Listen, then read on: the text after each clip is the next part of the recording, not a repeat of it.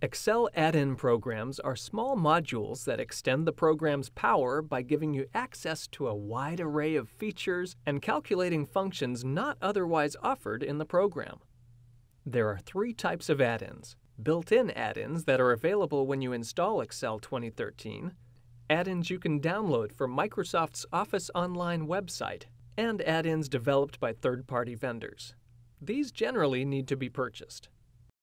When you first install Excel 2013, the built-in add-in programs included with Excel are fully loaded and ready to use.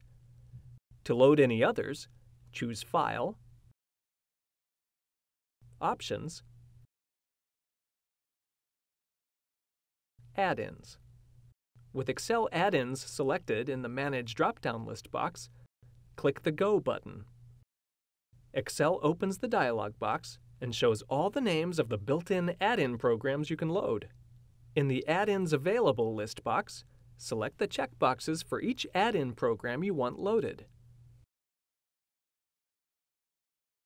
Click the OK button to close the Add-ins dialog box. An alert dialog box may appear, asking whether you want to install each selected add-in. Click the OK button in each alert dialog box to install its add-in.